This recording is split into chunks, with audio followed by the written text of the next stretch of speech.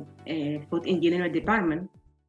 Today, I will be presenting some results of my PhD thesis, highlighting the effect of deep eutectic solvent on the extraction of polyphenol from cocoa bean shell.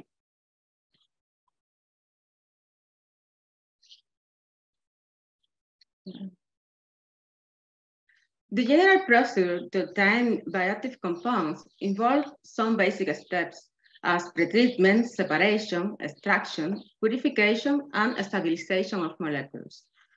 Traditional techniques applied for this purpose have disadvantages because they need large amount of, of solvents, they need also longer extraction time, energy consumption, and that's why today emerging methods are being applied and um, in this case, those methods um, comply with the with those of um, with those uh, criteria of green extraction. Those methods are employing sustainable raw materials, alternative solvents, reducing energy consumption, guaranteeing a safe extract, and ideally proposing a circular economy uh, approach to wastes. Following the guidelines from, uh, of, the, of green extraction, deep eutectic solvents are presented as the new generation of solvent that have several advantages over conventional organic solvents. They are obtained from two or more compounds whose mixture has a lower melting point than that of the separate components. Between the advantages mentioned before, we could highlight that these solvents are easily synthesized.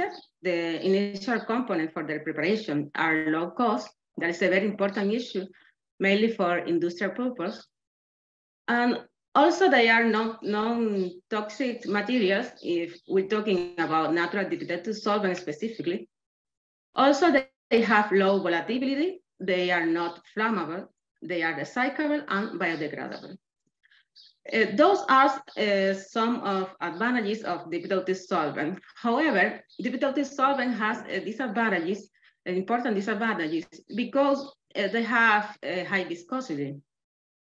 The high viscosity represents a limitation during extraction processes. So a strategy frequently applied to decrease viscosity is the mixture dilution, but this alternative weakens molecular, molecular interactions. That's why the greatest effort in this area of design have been focused on the effective design of these solvents to optimize extraction processes. Design are based on modification of physical properties of the deep eutectic solvent by a properly components combination, their molar ratio, and also the water content. On the other hand, Plant residues are sustainable source of high value compounds, and specifically um, uh, the world cocoa production for the last two years was 5,226 metric tons, according to the statistics reported by the International Cocoa Organization. And around 80% of total cocoa production are organic wastes, such as the such as pericarp, um, that, is, that is the other husk, cocoa bean shell, and fermented mucilage. During post-harvest process, which include fermentation, drying, and roasting, biochemical reactions occur inside cocoa bean, and some molecules migrate from cotyledon to periphery. And uh, then they are trapped by the shell. Thus, cocoa bean shell become rich in bioactive compounds, mainly theobromine, caffeine, and flavonoids, uh, such as catechins. So the, object, the objective of this research was to analyze the extraction kinetic of cocoa bean shell polyphenol when solid liquid extraction is performed using deep eutectic solvent prepared from choline chloride in combination with lactic acid, glycerol, and ethylene glycol, as well as their aqueous dilutions. First of all, Deep eutectic solvents were prepared using choline chloride as hydrogen bond acceptor and lactic acid glycerol or ethylene glycol were used as hydrogen bond donor, being called lalline, uh, glycerin, and ethylene respectively. All the mixtures were prepared in a one to two ratio and then diluted. Solid liquid extraction was performed use, uh, using grounded cocoa bean shell as experimental unit and deep eutectic solvent and their dilutions also um, also, a reference sample was treated under the same conditions, but in this case, uh, ethanol solution was used as a conventional solvent. After centrifugation and filtration, both supernatant and residue were analyzed. Model uh, presented in the slide was used to simulate experimental data of total phenolic content and um, the coefficients A and B were determined by, by nonlinear correlations.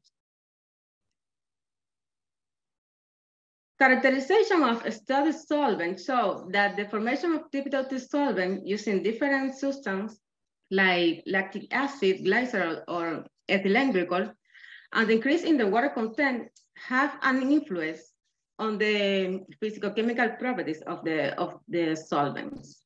The greatest change was observed by, uh, for viscosity. There is a dramatic reduction of mixture viscosity when water content was increased. And also uh, pH was also affected, but uh, in this case, pH increased when water content increased. The effect of dilution of lipid solvent was studied analyzing infrared, spectrum um, in the diluted solvent, we can see a slight increase in the wave number corresponding to the hydroxyl functional group with respect to the pure solvent, which means a weakening of Bryce bond of hydrogen when water content increase. Images represent extraction kinetic of total phenolic compounds. There are differences in the performance of diluted solvent and their dilution due to hydrogen bond donor substance used in the synthesis of deep eutectic solvents, and also due to water content of the solvent. Although the result obtained previously confirmed a weakening of the structure of deep eutectic solvent by the addition of water, performance of the solvent is not affected at least um, for water percentage between uh, 30 and 50%. Moreover, as the water content increase, extraction ability of the solvent increase.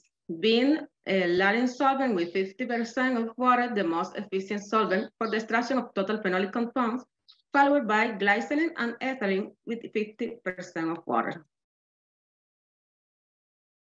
Experimental data present a good fit to the kinetic model, showing a good correlation coefficient for all solvents studied and as expected, diffusivity increased with increasing water content, uh, in the diluted solvent due to a decrease of uh, viscosity values. That uh, this decrease of viscosity allow a greater ma mass transfer from the solid to the solvent. However, the similarity between the diffusivity values corresponding to the conventional solvent used as reference and the most efficient deep eutectic solvent dilutions, dilutions suggest that other mechanisms are influencing the mass transfer rate in addition to the washing diffusion phenomenon described by the model. Residues were analyzed by scanning electron microscopy. In the slide, figure A showed the, the residue treated by uh, uh, using a conventional solvent, it was ethanol solution in this case, and figure B, C, and D show the surface of residues treated with, with um, studied deep eutectic solvents. As we can see, surface of deep eutectic solvent treated residues, uh, uh, treated residues is damaged, are damaged compared um, the residue of conventional extraction using ethanol, using ethanol solution. The interesting thing is that protein chains are exposed on the surface of the tree residue treated with depleted solvents. The, the analysis of, of the chemical composition of the surface presented in the next table confirms that, that statement. And as we can see, nitrogen element is not detected in cocoa bean shell, neither in the sample treated with conventional solvent. So this result confirm the, the ability of some deep eutectic solvent to hydrolyze molecules that form the structure of, veg of vegetable plants. That explain the greater, the, the greater effectiveness, of deep eutectic solvent compared to conventional solvents.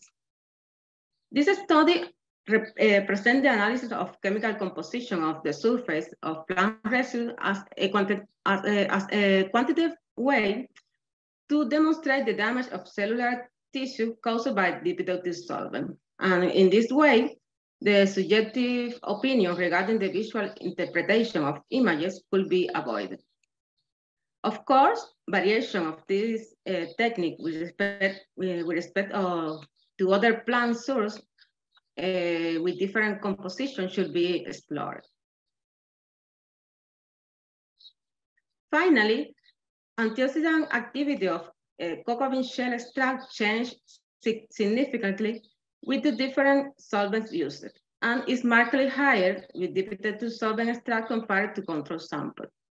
The extract obtained with uh, lalin containing 50% of water present the highest free radical scavenging uh, capacity. Contrary to expectations, the antioxidant capacity of extract obtained by glycerin um, and ethylene containing 50% of water is not influenced by a total phenolic content, since both solvents show the same performance in total phenolic uh, content extraction, as we can see in the table next. And um, however, the bar graph show a significant difference between the antioxidant capacity of, of both solvents. As final conclusions, uh, we can say that increasing the water content improves the extractability of, uh, or the extraction efficiency of uh, solvents lalin, glycerin, and ethylene. And uh, the eutectic mixture, uh, choline chloride lactic acid, uh, prepared with one, in a ratio of one to two ratio diluted with 50% of water showed the best performance in extraction and um, and the extract quality of uh, and, uh, and also in the extract quality.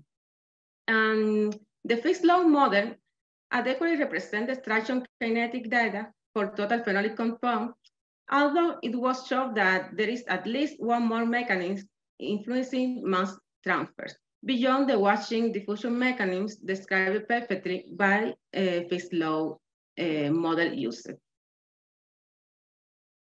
So uh, thank you so much for your kind attention.